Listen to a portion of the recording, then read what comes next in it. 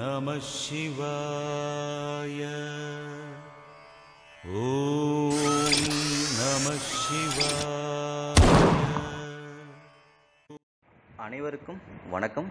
இந்த பதிவிலே நாம் பார்க்க இருப்பது இதுவரை யாரும் அறிந்திடாத லிங்க ரகசியம். இந்த பகுதிக்குள்ளே போகிறதுக்கு முன்னாடி நம்மளோட ஓம்கர்கர் பகுதியை சப்ஸ்கிரைப் பண்ணாதவங்க தயவு செஞ்சு சப்ஸ்கிரைப் பண்ணிக்கோங்க.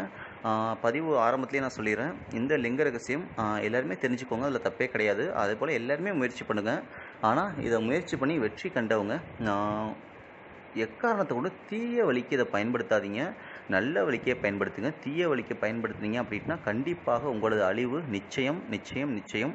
அதுபோல் சுயநலத்துக்கு இல்லாமல் பொதுநலத்துக்கு பயன்படுத்துங்க. கண்டிப்பாக உங்களுக்கு பயன்படுத்தலாம் தப்பே கிடையாது. உங்களுக்கு வேணுங்கிற அளவுக்கு பயன்படுத்திட்டு அதை வச்சு மற்றவங்களுக்கு பயன்படுத்துங்க. உங்களுக்கே பயன்படுத்தும். எல்லாமே எனக்கு எனக்குன்னு சுயநலமாக இருக்காதீங்க. பொதுநலத்துக்கு பயன்படுத்துங்க. அப்படி பொதுநலத்துக்கு பயன்படுத்துனீங்க அப்படின்னா அந்த எம்பெருமானோட அருள் நிச்சயம் கிடைக்கும். இந்த லிங்க ரகசியத்தை ஆரம்பிக்கிறதுக்கு முன்னாடி நீங்கள் சுத்தமான ஸ்படிகலிங்கம் ஒன்று ரெடி பண்ணி வச்சுக்கோங்க. நிறைய இடத்துல கிடைக்கும். இந்த ஜுவல்லரி ஷாப்லலாம் ஸ்படிகம் வந்து ஒரிஜினலாக கிடைக்கும். ஒரிஜினலாக வாங்கி வச்சுக்கோங்க. அது வந்து கரெக்டாக இரநூத்தி நாற்பத்தி ஏழு கிராம் இருக்கணும். இதை விட்டு கூடவோ குறையவோ இருக்கக்கூடாது. அக்யூரேட்டாக இருக்கணும் இரநூத்தி நாற்பத்தி ஏழு கிராம். அதுபோல் தமிழ்நாட்டில் ஒரு இரண்டு இடத்த நீங்கள் கண்டுபிடிக்கிற மாதிரி இருக்கும். நான் ஒரு இடத்த வெளிப்படவே சொல்லிடுறேன். இன்னொரு இடத்த கொஞ்சம் சூச்சமாக சொல்கிறேன் அதை மட்டும் கொஞ்சம் தெரிஞ்சுக்கோங்க. ஏன் அப்படின்னா உங்களோட உழைப்பு கண்டிப்பாக இருக்கணும். எல்லாத்தையுமே நான் சொல்லிட்டேன் அப்படின்னா உங்களோட உழைப்பு இருக்காது. நீங்கள் கொஞ்சம் கஷ்டப்பட்டு கண்டுபிடிச்சா மட்டும்தான் அதனுடைய பலனை முழுமையாக அனுபவிக்க முடியும். அதில் முதலிடம் கொல்லிமலையில் உள்ள சட்டைமுனிநாதர் குகை அதை கண்டுபிடிக்கணும். அதில் அதுக்கு போனவங்க சில பேர் தான். ஆனால் முயற்சி பண்ணால் முடியாது அப்படின்னு கிடையாது. அந்த சட்டைமணிநாதர் குகையில் ஒரு சிவலிங்கம் இருக்கும். போனவங்களுக்கு தெரியும் வலதுபுறம் ஓரமாக இருக்கும். ரொம்ப பெரிய சைஸ்லாம் இருக்காது. ஒரு அஞ்சு அடியில் தான் அந்த சிவலிங்கம் இருக்கும். அதுபோல் நாகப்பட்டினம் மாவட்டத்தில் ஒரு உள்ள ஒரு கோயிலை கண்டுபிடிக்கணும். அந்த ஊர் நான் சொல்ல மாட்டேன். கோயிலோட பேர் மட்டும் நான் சொல்கிறேன் சரிங்களா? ஸ்ரீ கைலாசநாதர் கோயில் அந்த கோயிலை கண்டுபிடிக்கணும். அங்கேயும் அஞ்சு அடி உயரத்தில் தான் கோயில் சிவலிங்கம் இருக்கும். இந்த இரண்டு சிவலிங்கத்துக்கும் உள்ள ஒற்றுமை என்னன்னு பார்த்தீங்கன்னா இரண்டு சிவலிங்கமுமே போக பெருமானால் செய்யப்பட்டது. இன்னும் ஒரு விசேஷம் என்னென்னா அந்த இரண்டு சிவலிங்கமும் சுத்தமான நீலக்கல்லால் செய்யப்பட்டு அதை சுற்றி கருங்கல்லால் சுற்றி செய்யப்பட்ட ஒரு அற்புதமான சிவலிங்கம். நீங்கள் வெளியிலிருந்து பார்க்கும்போது பார்த்தீங்கன்னா கருங்கல் மாதிரி தான் இருக்கும். ஆனால் அந்த கருங்கல் உள்ள ஒரு சுத்தமான சிவ சின்னதாக சிவலிங்கம் இருக்கும். ஆனால் அந்த நாகப்பட்டினம் மாவட்டத்தில் உள்ள ஸ்ரீ கைலாசநாத் கோயிலில் ஒரு ஒரு வருத்தம் என்னன்னா அது சிதலம் அணிச்சிட்ருக்கு கூடிய விரைவிலே அது அழிந்து விட நிலைமையில் இருக்குது அதுதான் கொஞ்சம் வருத்தமான செய்தி. இந்த இரண்டு சிவ சிவலிங்கத்திற்கும் அபிஷேகம் பண்ணாங்க அப்படின்ட்டுனா அது நீல நிறமாக மாறிவிடும். அபிஷேகம் பண்ணி கீழே வர்ற அந்த தீர்த்தம் நீல நிறமாக மாறிடும். அந்த சட்டைமணிநாதர் குகை வந்து கார்த்திகை மாதம் பன்னிரெண்டாம் தேதி நீங்கள் எப்படியாவது தேடி கண்டுபிடிச்சி கார்த்திகை மாதம் பன்னிரெண்டாம் தேதி அந்த குகைக்குள்ளே போனீங்கன்னா கரெக்டாக ஒரு சித்தர் வருவார். அவர் வந்து ஒரு மூலிகை தீர்த்தத்தை வச்சு அந்த சிவலிங்கத்துக்கு அபிஷேகம் பண்ணுவார். அதே போல் இந்த நாகப்பட்டினம் மாவட்டத்தில் உள்ள அந்த கோயிலுக்கு மார்கழி இருபத்தி மூணு அன்னைக்கு அதே மூலிகை அது போலயே மூலிகை தீர்த்தத்தை வச்சு அபிஷேகம் பண்ணுவாங்க. இரண்டுமே வில்வம் தாமரை செவ்வரளி நாகலிங்கம் பண்ணி இந்த மூலிகைகளுடைய சாரை ஒன்றா கலந்து தான் அபிஷேகம் பண்ணுவாங்க. அது பச்சை நிறமாக இருக்கும். அபிஷேகம் பண்ணி முடிச்சப்புறம் பார்த்தீங்கன்னா நீல நிறமாக மாறிவிடும். நீங்கள் இந்த இரண்டு இடத்த கண்டுபிடிச்சி அந்த மூலிகை தீர்த்தத்தை மட்டும் கொஞ்சம் கலெக்ட் பண்ணி வச்சுக்கோங்க. நீங்கள் தேடி கண்டுபிடிச்சி போயிட்டீங்கன்னா நீங்கள் எவ்வளோ கேட்டாலும் கொடுப்பாங்க லிமிட்டெல்லாம் கொடுக்க மாட்டாங்க. நீங்கள் ஒரு ரெண்டு லிட்டர் போல் ஒரு வாட்டர் கேனில் அதை கலெக்ட் பண்ணி கொண்டு வந்து வச்சுக்கோங்க. அதுக்கப்புறம் அந்த ஆம், இருக்குது பார்த்தீங்களா அதை வந்து ஒரு பிரதோஷம் அன்னைக்கு ஒரு சிவன் அருகில் உள்ள சிவாலயத்துக்கு போயிட்டு நல்ல மனசு மனசுதையோட பக்தியோட வேண்டிக்கிட்டு வந்துட்டு வீட்டில் உங்கள் பூஜை ரூமில் வச்சு சுத்தமான மஞ்சள் நீர் வச்சு அந்த ஸ்படிகலிங்கத்தை ஃபுல்லாக அலசிடுங்க.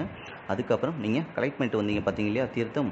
அதில் கொஞ்சமாக எடுத்து அந்த சிவலிங்கத்துக்கு அபிஷேகம் பண்ணுங்கள் அதுக்கப்புறம் அந்த அபிஷேகம் பண்ண தீர்த்தத்தை உங்கள் பூஜை ரூம்லேயே வச்சுருங்க. அதுக்கப்புறம் அந்த சிவலிங்கத்தை எடுத்து நான் சொல்லக்கூடிய ஒவ்வொரு பொருளையும் பதினெட்டு நாட்கள் ஃபுல்லாக ஊற போட்டுறணும் அந்த சிவலிங்கத்தை. நல்ல ஒரு செம்பு பாத்திரத்தை பெரிய பாத்திரமாக வச்சுக்கிட்டு அது ஃபுல்லாக சொல்லக்கூடிய பொருட்களை ஃபுல்லாக வச்சுருங்க. அதுக்கு நடுவில் சிவலிங்கத்தை நல்லா மூழ்கும்படி உள்ளார வச்சுருங்க. பதினெட்டு நாட்கள் முழுசாக இருக்கணும். ஃபஸ்ட்டு வந்து நல்லெண்ணெயில் பதினெட்டு நாட்கள் ஊற வச்சுருங்க. அதுக்கப்புறம் அதை எடுத்து சுத்தமான தண்ணீரில் அலசிட்டு அதுக்கப்புறம் பன்னீரில் பதினெட்டு நாட்கள் ஊற வைங்க. மறுபடியும் அதை எடுத்து சுத்தமான தண்ணீரில் அலசிடுங்க. அதுபோல் ஒவ்வொரு முறையும் ஊற வச்சு திரும்பி எடுக்கும்போது சுத்தமான தண்ணீர் அலசினும் முறையாக நல்லெண்ணெய் பன்னீர் இளநீர் வில்வ இலை சாறு வன்னி இலை சாறு கடல் நீர் தேன் பாதரசம். இந்த பாதரசமானது லிங்க ரசமாக இருக்கணும். ஏதோ கெமிக்கல் ஸ்டோர்லேயோ கடையிலேயோ வாங்கக்கூடிய பாதரசமாக இருக்கக்கூடாது நீங்களே லிங்கத்துலேருந்து எடுத்த பாதரசமாக இருக்கணும். அதில் பதினெட்டு நாள் ஊற வச்சுருங்க. கடைசியாக மஞ்சள் நீர் விட்டு நல்லா அலசிடுங்க. இவ்வாறு அலசின அந்த ஸ்படிக லிங்கத்தை சிவராத்திரி அதாவது மாத சிவராத்திரியாக இருக்கலாம் இல்லை மகா சிவராத்திரியாக இருக்கலாம் அந்த சிவராத்திரி அன்னைக்கு ஏதாவது ஒரு பழமையான சிவாலயமாக இருக்கணும். அதுவும் முந்நூறு வருடங்களுக்கு மேலாக அந்த சிவாலயம் பழமையானதாக இருக்கணும். அதுவும் அந்த கோயிலில் ஐம்பது வருடங்களுக்கு மேலான பழமையான வில்வ மரம் இருக்கணும். சரிங்களா? இதுமாரி பார்த்து கொஞ்சம் தேடி வச்சுக்கோங்க. அந்த வில்வ மரத்துக்கு அடியில் இந்த ஸ்படிகலிங்கத்தை புதைச்சி வச்சுருங்க.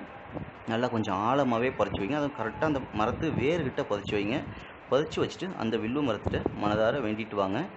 இவ்வாறு அந்த ஸ்படிகலிங்கம் அந்த வில்வ மரத்துக்கு கீழேயே தொள்ளாயிரத்தி முப்பத்தி ஏழு நாட்கள் கண்டிப்பாக இருக்கணும். இதில் மாற்றமே கிடையாது.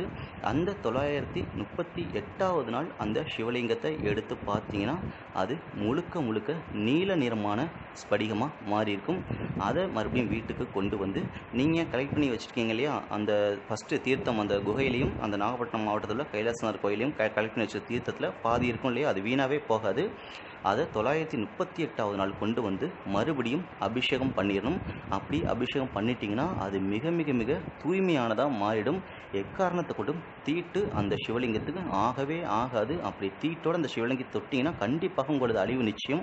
வீட்டில் யாராவது மாதவிலக்கு ஆயிருந்தாங்கன்னா அந்த சிவலிங்கத்தை கண்ணால் கூட பார்க்கவே கூடாது. அப்படி ஆஹ், மாறிய சிவலிங்கத்தை உங்கள் பூஜை அறையில் வச்சுக்கிட்டு நீங்கள் அந்த சிவலிங்கத்தை என்ன வேண்டுனாலும் கண்டிப்பாக நூறு சதவீதம் கிடைக்கும். இன்னும் சொல்லப்போனால் மரணமே இல்லாத வாழ்க்கை வேணும்னா கூட கண்டிப்பாக கிடைக்கும். ஆனால் அது இயற்கைக்கு முரணானது. அதுமாரி பண்ணாதீங்க. நல்வழிக்கு பயன்படுத்துங்க. இல்லாதவங்களுக்கு யாரோ கஷ்டப்படுறங்க இருந்தால் அவங்களுக்கு பய அவங்களுக்கு நல்லா இருக்கணும் அப்படின்ட்டு வேண்டிக்கோங்க. இல்லை உங்கள் குடும்பத்திலே கஷ்டம் அப்படி இருந்தால் எங்கள் குடும்பம் நல்லா இருக்கணும் நோய் நொடி இல்லாமல் இருக்கணும் ஆரோக்கியமாக இருக்கணும் அப்படின்னு வேண்டிக்கோங்க. இந்த மாதிரி சி- எவ்வளோ பெரிய விஷயங்கள் வேணாலும் நடக்கும். ஆனால் ரொம்ப பேராசை நமக்கு வேணாம். நார்மலான ஆசைகள் என்னவோ அந்த சிவலிங்கத்தை வேண்டிக்கோங்க. கண்டிப்பாக நடக்கும். எல்லா எது வேணாலும் கண்டிப்பாக நடக்கும். இதை நல்வழிக்கே பயன்படுத்துங்க. தீய வழிக்கே பயன்படுத்தாதீங்க. கண்டிப்பாக அழிவு ஏற்படும். இதை எல்லாருமே முயற்சி பண்ணுங்கள் நல்வழிக்கே பயன்படுத்துங்க. நன்றி. வணக்கம். ஓம் நம சிவாய.